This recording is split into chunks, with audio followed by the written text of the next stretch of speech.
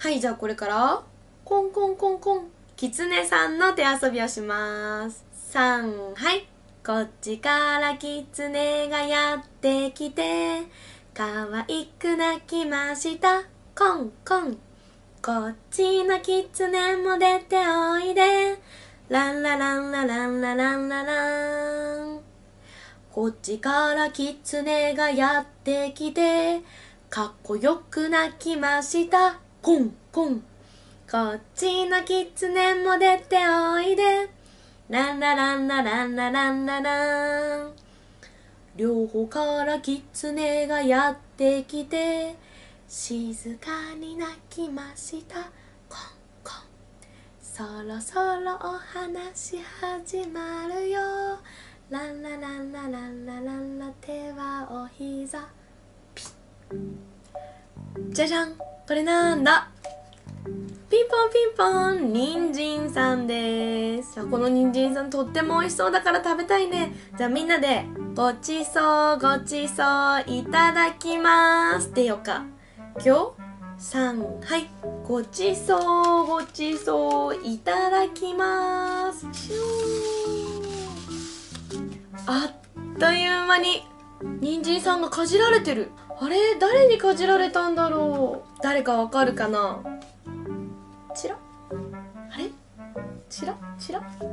チラ？あどっかで見たことあるな。どの動物さんかな？じゃあ次は人参食べたのだーれって聞いてみようか。いくよ。3はい。人参食べたのだーれ正解。うさぎさんだったね。人参。もぐもぐ。美味しそうだね。さあ次は誰かな？すいすいすいすいすいあお魚さんだ。はいとっても美味しそうなお魚さんなのでじゃあごちそうごちそういただきますって。言ってみようか。いくよ3はいごちそうごちそういただきます。食べ誰が食べたのかな？誰だと思うみんな。あれ？なんだろう？尻尾がフリフリフリって。誰だろう？じゃあお魚さん食べたの誰か聞いてみようか。お魚さん食べたの誰って言ってみるよ。いくよ。3はい。お魚さん食べたの誰？は猫さんだ。猫さんが食べたんだね。これ猫さんの尻尾だったんだね。はいじゃあ次は誰かな？じゃじゃん。美味しそうなリンゴさんだ。リンゴさん食べたい人。はーい食べたいね。よしじゃあまたみんなでごちそうごちそういただきます。って言ってみるよ。3はい。ごちそうごちそういただきます。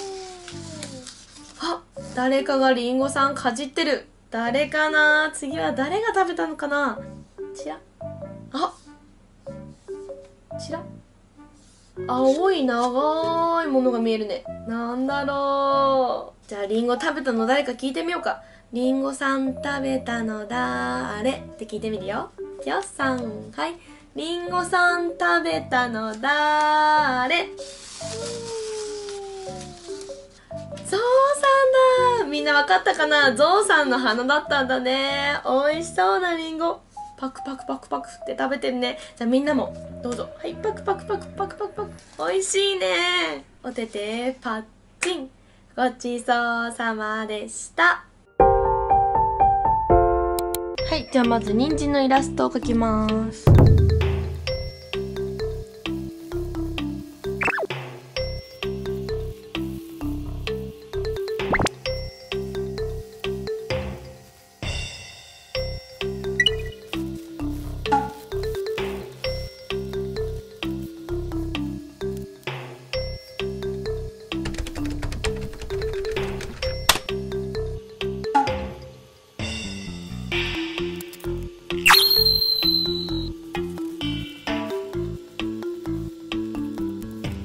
れを3枚重ねて全部切ります。で向きをちゃんとこう合わせて。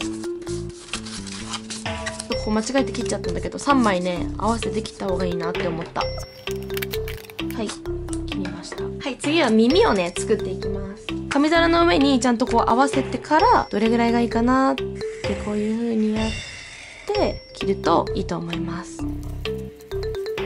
こののりしろの部分も残しておいた方がやりやすいと思います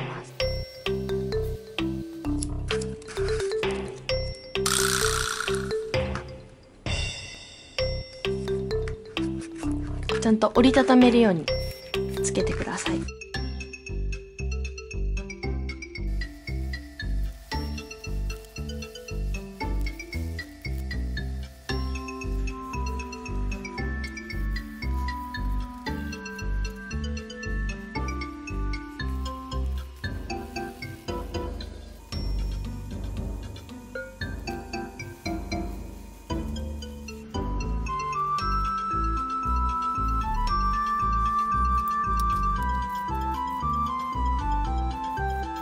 でこの尻尾を描きます。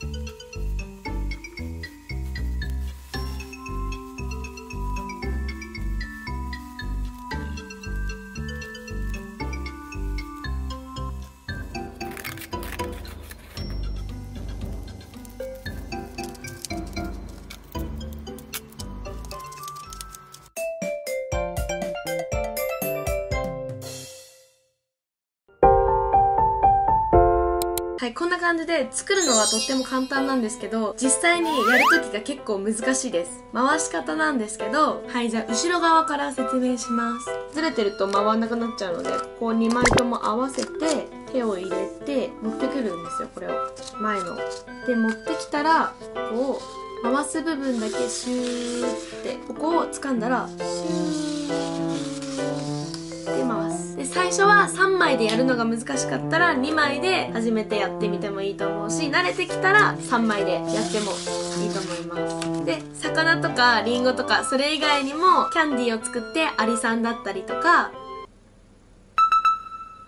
バナナにしてお猿さんだったりとかそういうねいろいろアレンジができると思うのでたくさん作ってみると面白いと思います。はいこの紙皿シアターねとっても作るのは簡単なのでやってみてください。紙皿シアター作ってみたいなと思った方は高評価グッドボタンいいね親指押してもらえたら嬉しいです。はい紙皿シアターはね他にもいろいろと腹ペカオムシとか結構可愛いお話がたくさんあるのでねいろいろ使えると思います。ではまたねバイバーイ